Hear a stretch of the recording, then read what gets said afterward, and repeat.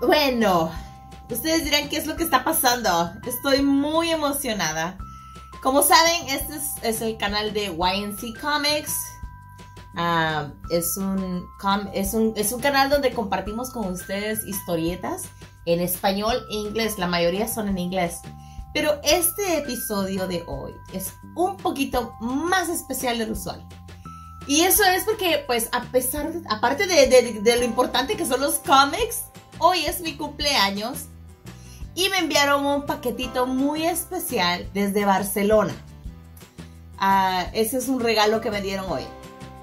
Y me dijeron, queremos que hagas un episodio abriendo el, el, el cómic, abriendo el paquete. Así que aquí los dejo con lo que pasó hace unos segundos. hace unos segundos estábamos abriendo el paquete y eh, aquí los dejo con lo para que miren ustedes con sus propios ojos lo que estaba pasando.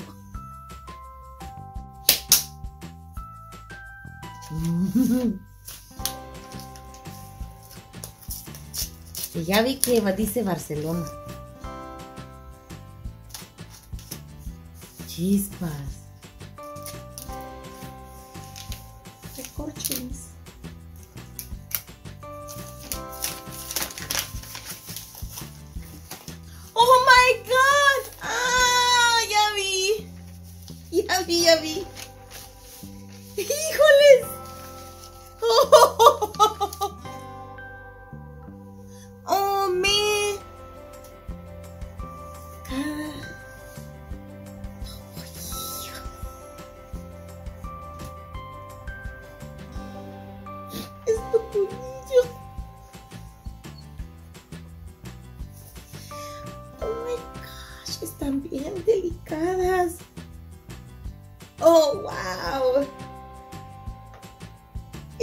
Esto pollillo.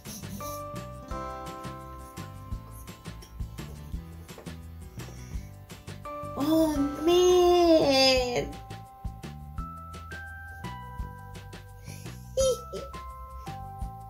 Oh. Esto pollillo.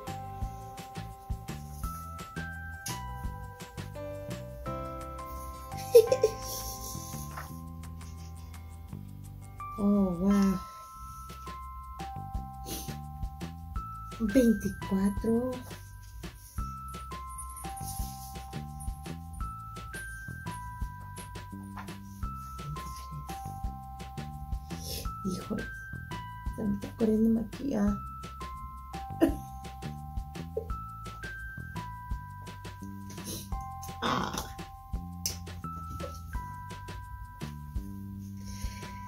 Quiero mojarlas.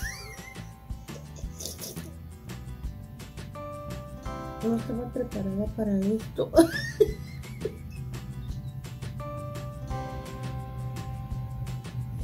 ¿Tienes por ahí un wipe?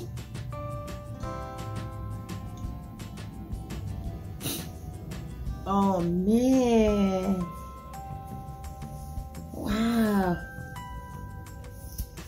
Híjoles, estas no las quiero mandar a la CGC. Estas las quiero leer. Una por una. ¡Caracoles!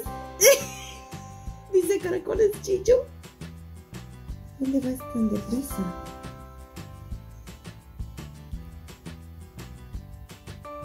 Ay, qué bonito.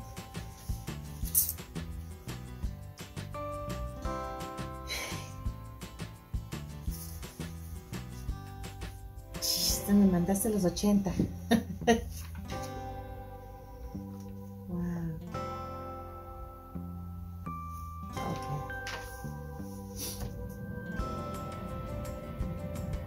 wow.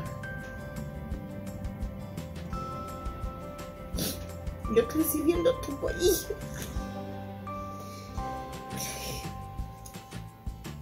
Ah, no pensé que encontrar un cómic me hiciera llorar tanto.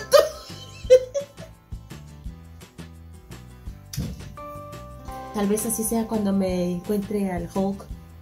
Ah, no, ese ya no tengo. Tal vez cuando encontremos a, ah, no sé, ¿cuál comic book? No sé, no creo que haya otro comic book que signifique tanto emocionalmente como este y el del chavo. Y, o el, el Chapulín Colorado. Y es porque crecí viendo estos shows en los 80. Pero estas historietas fueron escritas mucho antes de que yo naciera, ¿ok? Que quede bien claro, mucho antes de que yo naciera. Bueno, vamos a hacer un episodio de esto para explicar qué es lo que está pasando ahorita. Así que deme un segundo para poder uh, colectarme y poder empezar a hablar bien. bueno, ¿qué les parece? Ninguna de esas lágrimas fueron de cocodrilo. Esta historieta es muy especial porque yo crecí viendo los shows de los 80 como El Chavo del 8, El Chapulín Colorado, Topollillo uh, o Topollillo era, era, uno de mis favoritos. Hasta la fecha es uno de mis favoritos. De vez en cuando me pongo a, a, a ver videos de Topollillo en YouTube. Así que esta historieta significa mucho para mí. Y, este, y saber que alguien se tomó el tiempo de buscar esta historieta por todos lados y la encontró. No encontró solo una, encontró un paquete. Encontró la historieta de Topollillo escrita por María Perego. Y este tengo el año número uno Año 1, número 13, número 19, número 23, número 24, se las voy a enseñar, ¿eh? Número 25 y número 27. Y se las voy a enseñar, pero no las quiero estar tocando mucho porque están bien delicadas. Estas historietas son del año 1970. Ah, esta es la... Es, es que miren, no sé si ustedes tienen esa experiencia de que van a una biblioteca y cuando entran huelen los libros y sientes como que los libros te hablan. Eso siento yo cuando yo voy a una biblioteca. Uh, que justo la biblioteca del centro de Los Ángeles es mi favorita porque son cinco pisos de libros. Pero cuando entras a una, a una, a una tienda de libros y hueles las historietas o, o libros antiguos, qué rico huelen. te, cuentan mucho. Entonces no las quiero estar tocando porque estas están bien delicadas. Son, son, este, son viejas, ¿verdad? O colecta, coleccionables. Pero miren, no son del tamaño regular de otras historietas, que les voy a enseñar aquí una de un tamaño regular. Si se dan cuenta. Son un poquito más grandes. Son más son grandes del usual. Y incluso la letra es más grande. Y esta es la año 1, número 13. Y dice número de registro 1900, ah, 1100, número de registro 198, dice. Cinco partes. So, me imagino que, no sé cómo las La verdad, yo no sabía que habían historietas de Topollillo. Y por eso me emocioné tanto cuando vi estas historietas, porque yo no sabía que había de Topollillo. Nunca se me había ocurrido buscar de Topollillo. No, no, no sé. Y estoy viendo la historieta y solo me lleno de emoción de verla.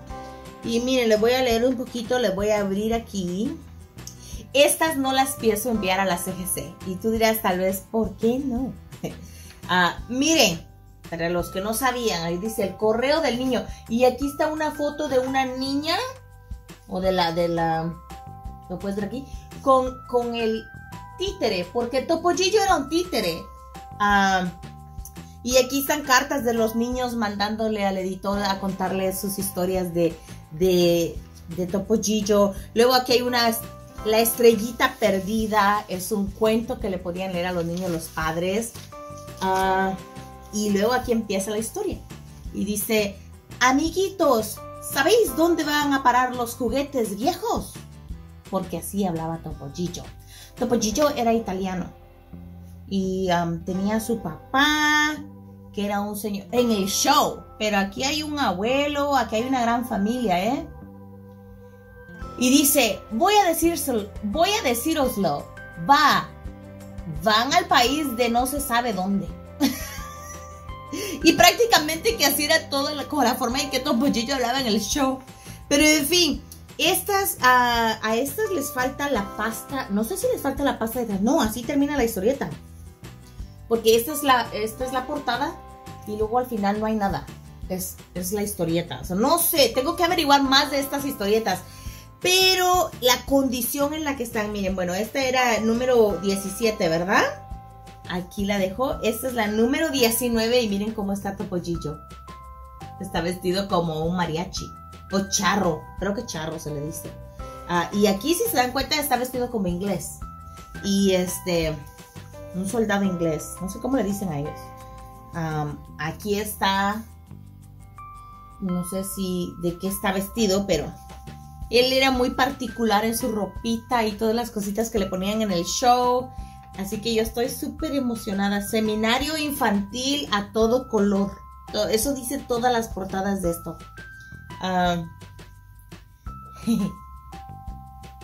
Y este es número 25. Esta es la número 21 que les estaba diciendo. Y todas terminan así. Por eso pienso yo, no estoy segura si ese es, ese es el final o realmente le falta una página. Porque miren, esta tiene, no tiene nada atrás. Esta es el número 25. Esta es la número 27. Y de igual manera, no, ¿saben qué? Esta es la, así es el final, así es como terminan. Porque incluso aquí tiene un, cómo pedir tu, cómo hacerte un, un miembro. Cómo pedir más, uh, cómo pedir más juguetes o cosas así. Son, son comerciales. Pero les voy a enseñar. So, ¿se acuerdan? 13 Todas son iguales de atrás, excepto por la número 25, que no tiene nada atrás. Así que me deja con la duda de si estas todas les falta una página, que parece que sí, que es esta página de atrás, que está en blanco. Pero no sé si eso es a propósito o no. No las quiero enviar a la CGC. Estos son tesoros que quisiera un día compartir con mi hijo cuando ya esté más grandecito.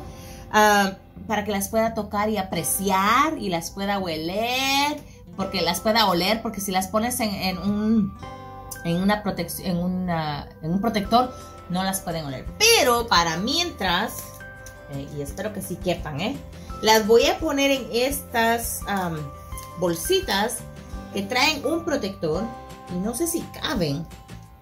No, no va a caber. Bueno, sí, sí cabe. Ah, vale, justo, justo, justo el tamaño de la historia, del cómic. Miren, pero no le voy a poder doblar mucho. Bueno, por ahorita las voy a poner así, van del otro lado. Estoy tan emocionada que ni sé qué estoy haciendo.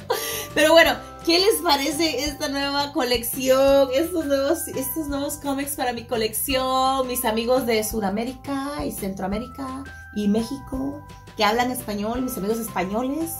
Ah, estoy muy emocionada con mi regalo de cumpleaños. Espero que a ustedes les haya gustado esta, este, este episodio. ¿Y qué opinan de estos cómics? ¿Sabían ustedes que existían cómics de Topollillo? ¿Habrá algún personaje favorito que tú creciste viendo en un show ah, como los Thundercats o algo así que tú no sabías que habían cómics? Porque no sé si sabes, hay cómics de los Thundercats. Bueno, ah, comenta, síguenos, ah, ya saben, Facebook, Instagram, Twitter y hasta la próxima.